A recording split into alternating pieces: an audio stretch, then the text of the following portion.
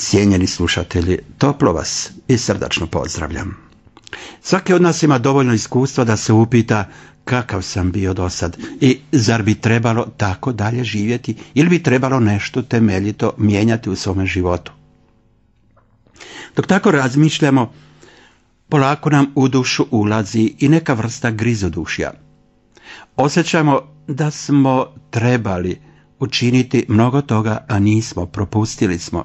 Osjećamo da puno toga nismo smjeli činiti, a činili smo.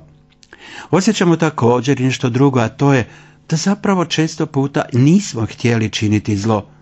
A opet ono nam se dogodilo. Da često puta smo toliko divnih odluka napravili, ali smo spoznali kako je dobrim odlukama zaista popločen put samo do pakla. Nismo ih naime izveli. I gotovo je nemoguće ne osjetiti grižnju savjesti, osjetiti krivicu i muku zašto su prošla vremena, a da nismo ih iskoristili. Krivice. One su tako snažne, više puta smo već govorili u ovim našim emisijama, da znaju čovjeka dovesti na rub života. Ljudi dolaze u depresije ili se bacaju u neku vrstu laganog samoubojstva, to znači uzimaju droge, alkohol i slično što truje njihove živote. Ili pak s druge strane da direktno načine čak samoubojstvo. Nemoguće dugo izdržati sa krivicama i nemoguće je uopće živjeti sa krivicama i htjeti biti sretan. Krivica je nešto što je temelj zapravo svih naših života, nažalost. Krivica je naime jedan od bitnih elemenata istočnog grijeha, kako kažu suvremeni teolozi. A to znači da rađajući se u ovaj svijet mi uzimamo na sebe krivice koje nismo po sebi skrivili, nego su jednostavno opečatili ljudsku povijest od prvog Adama pa traju izgleda do posljednjeg. Krivica je osjećaj frustracije, osjećaj da nismo bili ispravni, ali još više osjećaj da nas netko može uništiti, osuditi i da nemamo pravo ići naprijed u život, da zapravo nemamo razloga očekivati nešto dobro u budućnosti. Krivica znači da neki sudac stoji ispred nas, netko ko odmjerava naše dane i naše prošle godine i neko ko će prosuđivati kakvi smo bili. Još teže u krivicama, poštovani cijenjeni slušatelji, to što zapravo u njima doživljavamo kako se ne možemo nikada do kraja opravdati. Sjetimo se, toliko puta se kajemo za mnogo toga. Toliko puta kažemo onima koje smo povrijedili, oprosti nam. Opet osjećamo da više ne možemo onako iskreno pogledati u oči. Da više nema onako iskrenog razgovora. Da nešto sjelo na naše duše i ne da nam više da živimo zajedno i složno. Toliko puta smo bili na ispovjedi i činili nam se lagano ćemo ići kući, poletjet ćemo jednostavno, lagani, bez grijeha, bez opterećenja, on opet na nama leži neka krivica koju se ne možemo osloboditi. Toliko puta, dakle, bili smo na ispovedi, opet govorimo grešni smo i grešni i stalno se bojimo svojih prošlih dana i prošlih grijeha, makar smo ih temeljito ispovjedili, napravili i načinili, izmorili pokoru, a opet oni ostaju. Krivica je dakle nešto što nas tišti. A krivica čini mi se da je nešto nepravedno u našem životu. Jer mi smo robovi grijeha, kaže Isus iz Nazareta, tko čini grijeh, rob je grijeha. Mi znamo osim toga da toliko puta ne želimo činiti i gotovo bismo mogli mirno reći, ne postoji čovjek koji želi činiti zlo. Nema ljudi koji bi željeli ubijati druge, koji bi, koji bi željeli oskvrnjivati svetinje, koji bi htjeli raniti drugog čovjeka i koji bi htjeli njega ražalostiti. Nego postoji nešto drugo, ili neka duboka osvetoljubivost, ili pak neki, neka zavist koja nam ne da mira nego da mučimo druge. Ili pak nešto bolesno u nama što nas poput onog serijskog ubojice tjera da ne prestano ubijamo, ranjavamo i onesposobljujemo druge. Teško je biti čovjek. Naporno ići ovom zemljom. Svi to dobro osjećamo, jer krivica je nešto što izlazi iz nečega čemu mi nismo gospodari. To znači, čovjek ne može ne griješiti. Jednostavno situacija svijeta, temelj ovoga svijeta je upravo tome da smo robovi grijeha, da smo podložni grijehu, da se ne možemo izvući iz toga da ne činimo zlo. A htjeli bismo ne činiti. Tako čeznemo za nevinim danima. Svi bismo htjeli opet se vratiti u djetinstvo da možemo reći nisam kriv. Ali je pitanje da li djeca osjećaju da nisu kriva.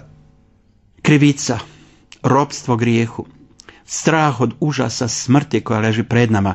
I to nije smrt, dakle, ona tjelesna koja nas muči.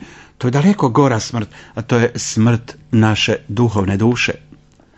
Dovoljno se samo podsjetiti da svaki grijeh, svako zlo koje činimo ili ga mislimo ili koje govorimo ili se za njega odlučujemo, svako zlo razara već naš mozak, kažu stručnjaci.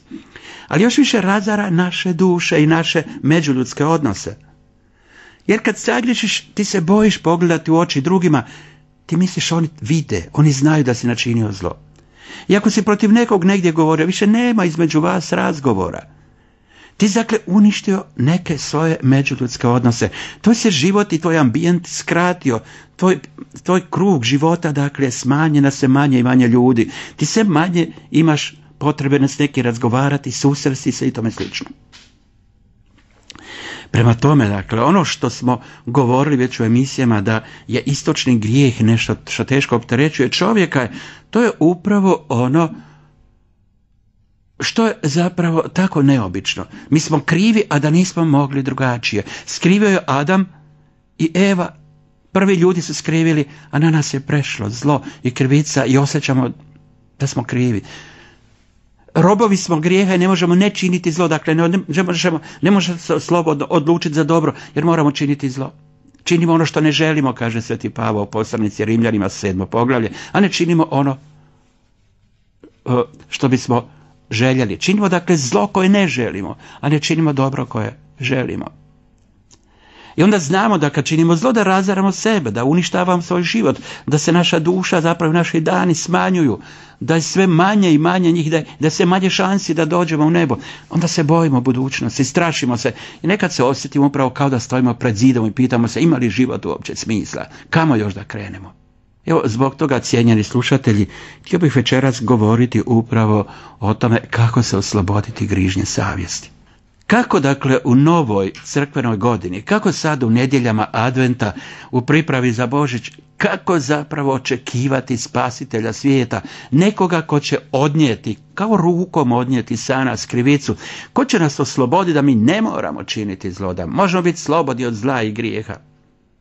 I koji će konačno nam reći, bit ćeš tamo gdje sam ja, ne boj se, doći ćeš u nebo. Čekamo dakle spasitelja koji bi, koji bi bio prijatelj, a ne sudac. Čekamo Isusa Krista koji tako jasno kaže, ne bojte se, ja sam pobjedio svijet. Nisam došao suditi, nego spašavati, kaže Isus. Ne bojte se, kaže, kao što otac ljubio mene, tako sam ja ljubio vas. Ostanite u mojoj ljubavi. Sve su to riječi koje nam daju, dakle, šansu da ipak skinemo sa sebe krivicu, da ono što je istočni grijeh unio svijet, mi odnesemo sa sebe. Jer previše je toga. Zamislite, dijete koje nije imalo ljubavi u djetinstvu i nježnosti i topline, ili dijete koje je bilo odbačeno, ili dijete koje se rodilo iz nezakonitog braka, dijete koje je slučajno došlo dakle, u roditeljski dom, takvo dijete ima teške grižne savjesti, a da nije nimalo krivo dijete, da pače ono je mali mučenik. Dakle, grižna savjest je nešto što automatski nekako upada u nas. To znači da je naša savjest već po sebi kao organ, organ smisla, kako to kaže logoterapija. Kao dakle organ koji nam govori ovaj, da ne smijemo ubijati život, koji je glas zapravo Boga, kaže teologija, ili glas našeg bitka, kaže filozofija. Ta savjest je očito teško ranjena. Ona je opterećena. I kako nju izliječiti? ovim emisijama upravo kako znate obrađujemo hagioterapiju. A hagioterapija zapravo proučava najprije čovjekovu duhovnu dimenziju.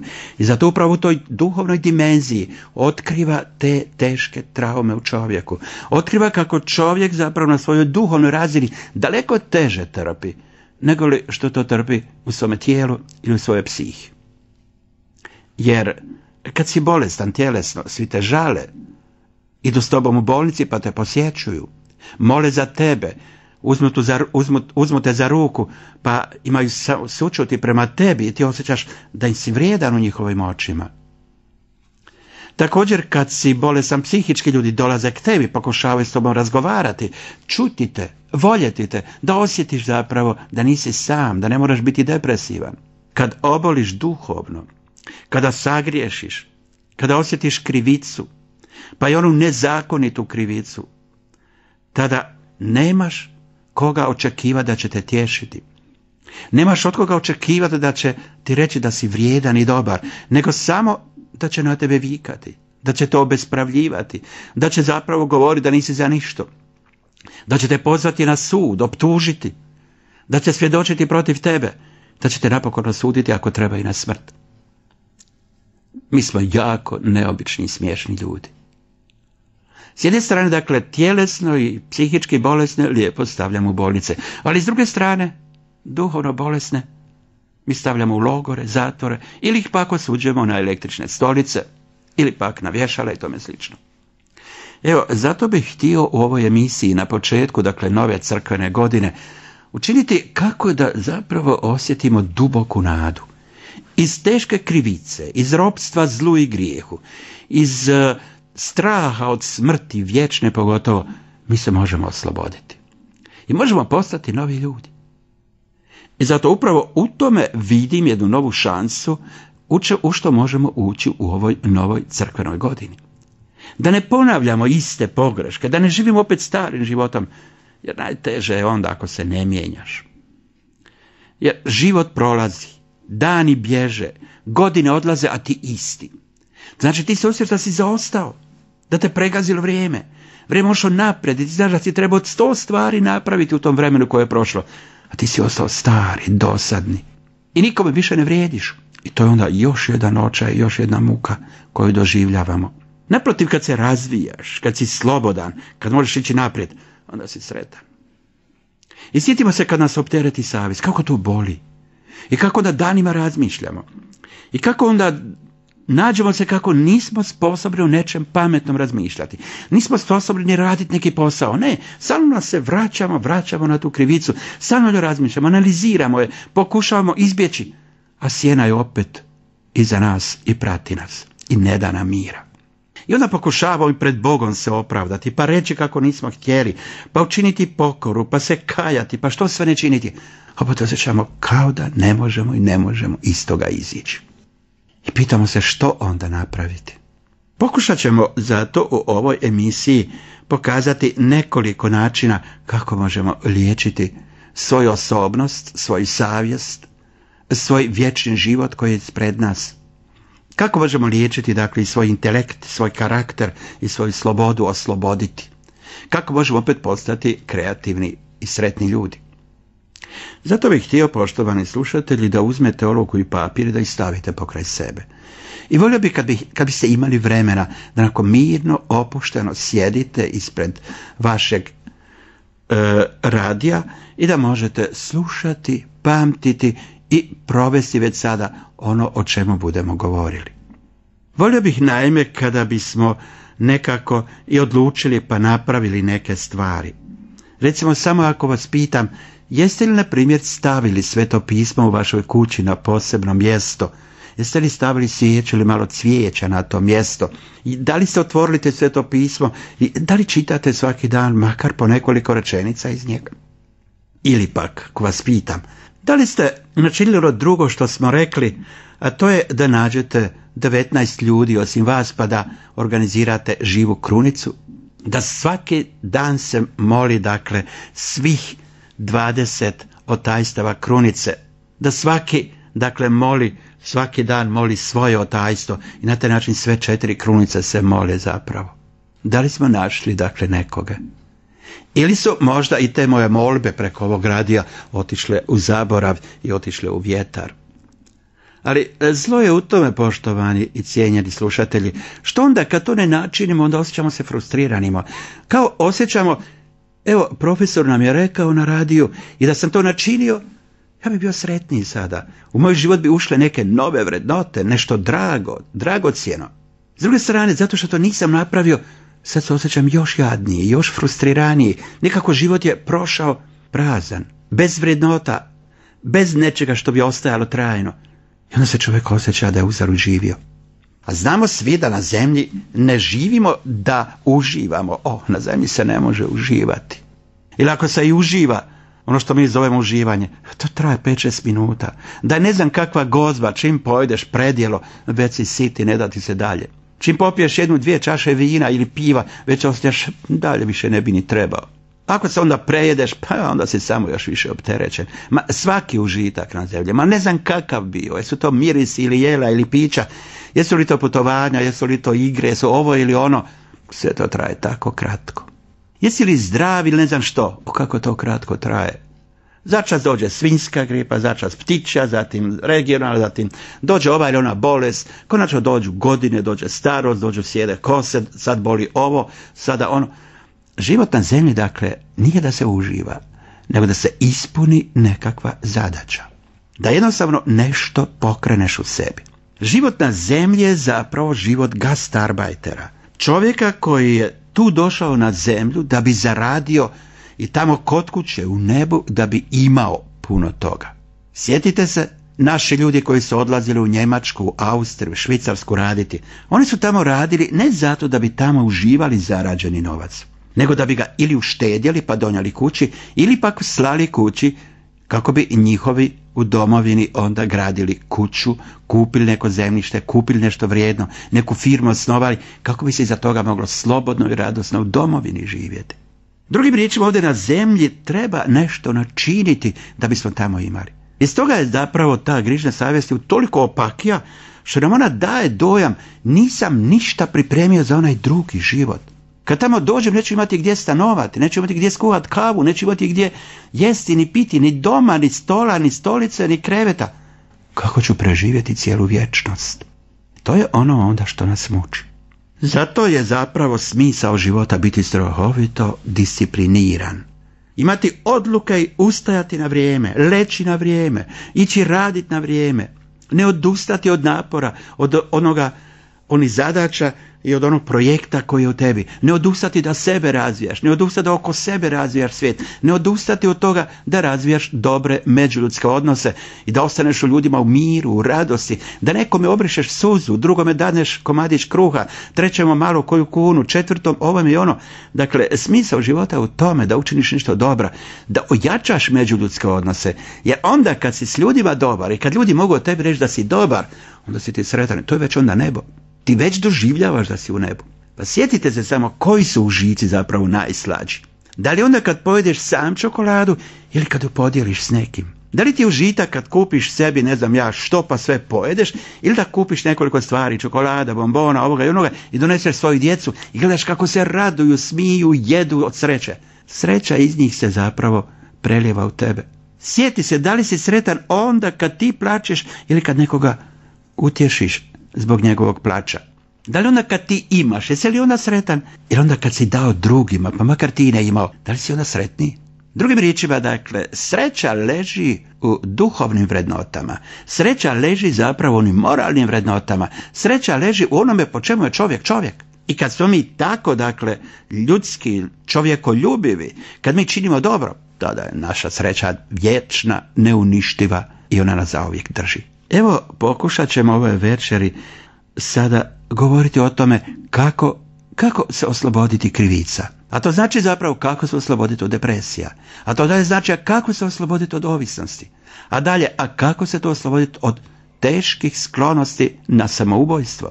I kako se osloboditi onda od niza drugih bolesti duhovnih, osobito agresivnosti, od zlo, zločestoće, ljubomore, strahova, tjeskoba, o svemu tome zapravo, ali ćemo se koncentrirati na savjest s jedne strane, s druge strane na naše, naše, našu osobnost koja zna biti duboko povrijeđena, s treće strane onda na onaj život vječni i da vidimo kako možemo sve to osloboditi i spasiti. Pa dok onda na tren možda se odmaramo slušajući glazbu u ovoj glazbenoj pauzi, uzmimo papir i zabilježimo što ti je ostalo od ovog mog govora sada na pameti. Ili što te je dirnulo, što te onako oslobodilo od straha i tjeskobe i dalo ti nadu da ćeš mnoge probleme svoga života sad razriješiti i da ćeš početi uživati u novoj crkvenoj godini. Što ti je dakle palo ovaj puta u srce kao nešto dobro, čestito, dragocjeno, i zašto se isplati dalje slušati ovu emisiju.